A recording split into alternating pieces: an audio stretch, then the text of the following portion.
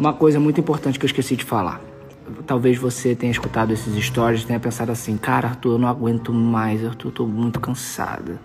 Eu estou sofrendo muito, eu tô passando por um monte de guerra, por um monte de gigante, por um monte de situação, tá muito difícil, eu quero desistir e tal. O que que tá acontecendo? Só para você entender o que que tá acontecendo. O inimigo, ele já sabe, ele já sabe o que Deus tem para você e ele já sabe o tamanho da sua vitória.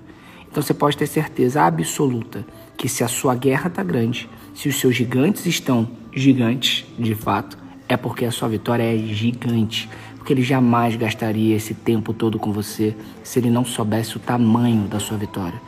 Como eu disse, ele não tem como arrancar a promessa de Deus da sua vida, mas ele tem como fazer você desistir. E é isso que ele está tentando fazer: fazer você desistir. Então saiba de uma coisa, para que você se sinta mais empolgado e talvez renove seu ânimo. Se está difícil,